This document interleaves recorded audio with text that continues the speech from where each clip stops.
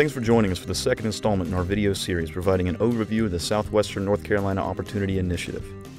The first video provided context for the Southwestern region of North Carolina. In this video, the Regional Investment Guide, we'll examine how the regional vision for growth can be seen through computer modeling and mapping, and how we might be able to use those models as a roadmap to achieve our goals. In September and October of 2013, the Opt-in Project held community workshops in each of the seven counties and in the Qualla boundary. During these workshops, the public was invited to review the project's work to date and to talk about how to move forward. Comments made by participants in these community workshops led to five broad goals that served as a regional vision reflecting what the region aims to accomplish. To help illustrate the choices that can be made as the region prepares for growth, we developed a series of suitability and conflict maps with these maps, we can easily view areas where potential land use conflict may exist and trade-offs may need to happen. Let's discuss what a suitability map is. A suitability map is the result of suitability modeling, which is a process that determines the fitness of an area of land, ranking from high to low in suitability, or appropriateness for a specified use. This is a suitability map showing land suitable for agriculture in the opt-in region. Let's see how the suitability map was created. The opt-in analyst decided that flat land, good soils, and lands that have been historically used for agricultural purposes would make an area suitable for agriculture.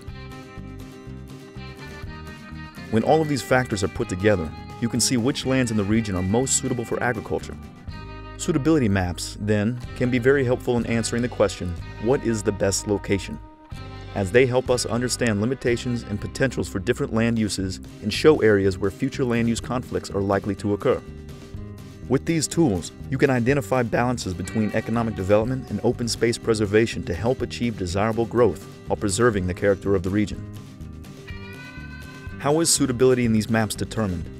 Determining suitability begins by defining the goals of a region and using those goals to understand what factors are important to compare, while considering uncertain futures and a changing landscape. For the opt-in suitability analysis, we used the baseline vision report and feedback received during the community meetings to develop a draft regional vision framework. The opt-in suitability analysis looks at many different conditions of the land area, including natural, cultural, and economic aspects of the region, with factors such as existing land use, lands managed for conservation, existing roadways, agricultural lands, and surface slope and floodplains, among many others. The result of the opt-in suitability analysis was three maps, one for urban suitability, one for agricultural suitability, and one for conservation suitability. Now that the suitability maps have been developed, we can combine them to see areas where there might be conflicts or overlaps of land use in the region. This conflict map illustrates the trade-offs that must be made between development and agriculture, with areas in the darkest reds indicating the lands that are suitable for both uses. For instance, the stretch of land surrounding US 19 between Andrews and Murphy has a possible conflicting land use. It's suitable for both urban development and for agriculture. Having flat terrain has allowed it to be a commonly used throughway, which also subjects the land to higher pressure for development, but it has historically been used for agriculture. It is in places like this where trade-offs between possible land uses must be discussed and decisions must be made for moving forward.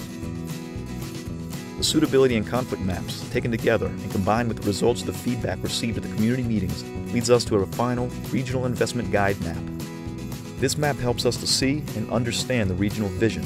It takes into account the growth we expect to see, the community's direction and how to best use our resources, and the trade-offs we should anticipate and discuss, all to help envision a better future for our region. The Regional Investment Guide helps to realize our vision, but how do we get there? The following principles were developed using recurring themes and the ideas collected at the community workshops. These principles express the community's intent. They do not say what needs to be done, but how to approach relevant aspects of the vision consistent with the community's ideas and values. We understand the many assets that our natural landscape brings to the region, but how can these assets best be maintained? For pillar number one, the place we're given, development should preserve important environmentally sensitive and scenic lands Development should also be compatible with and respect the quality of life the region already enjoys. For example, these principles might help to maintain and preserve a high standard of water quality that, as we've previously seen, is so important to the health of the natural world and the economy of the region. Healthy watersheds help to support our farmers and promote local agriculture and allow the region to continue being a leading destination for tourism, outdoor recreation, and artistic inspiration. For pillar number two, the economy we need, All elements of the vision should generate economic benefits to see that the entire region prospers with a diversified economy that supports small businesses, farming, entrepreneurship, and the wise use of natural resources. Along with region-wide economic benefits, economic development efforts should also recognize the important role the quality of life, natural beauty, and the uniqueness of the region play in attracting and keeping businesses and employees. It's important to note that tourism is a regional phenomenon. It's less affected by local policies than by policies that cross county boundaries. A regional transportation, natural resource protection, or marketing policy designed to leverage tourism revenues adopted through the cooperation of multiple jurisdictions is likely to have a much greater impact on the region's tourism than a similar policy made at the local level. By holding true to these principles, region-wide infrastructure projects could be implemented, such as an extensive high-speed internet network or possible access to natural gas. For pillar number three, the places we make, conversion of land from rural to urban should be orderly and take into account the region's unique character.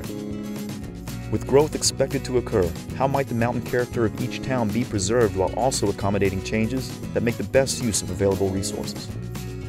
For example, the community indicated that increasing housing density around village centers might bring residents and visitors closer to shops, restaurants, and businesses, making local economic opportunities more available while preserving natural landscapes, as people are traveling less to reach homes, jobs, and recreation. Speaking of transportation, pillar number four addresses the ways we get around. Beginning with what we know, we can once again identify the principles consistent with community values and ideas. They spoke, and it was identified that roads should ensure safe and efficient travel.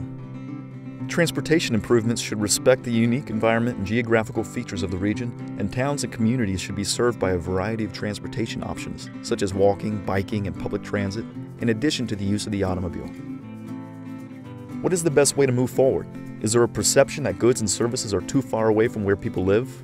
How important is it to have a choice of travel modes within the region? How might the ways in which workers commute shape transportation options? Remember the commuting story from Graham County. In following these principles and the others we've already discussed, the number of people who both live and work in Graham County is increased, reducing their community miles and the time and expense associated with them. Finally, for pillar number five, the quality of life we expect, the regional vision should support culture, arts, and heritage as essential elements of the region's prosperity. The vision should also facilitate equitable access to health services, housing, and education.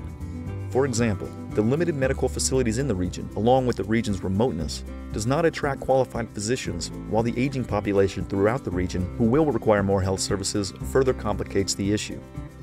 Residents in rural communities certainly have challenges to healthcare access, but how might improved access also affect workforce training in healthcare facilities? So now we can see how the opt-in process has helped to identify and confirm broad, long-range goals for the region, as well as a range of priorities that have the best chance of advancing those goals, all while sustaining a regional consensus. For more information on the regional vision, the goals, the regional investment guide, or any other aspect of the opt-in process, please visit www.optinswnc.org. Thanks for watching.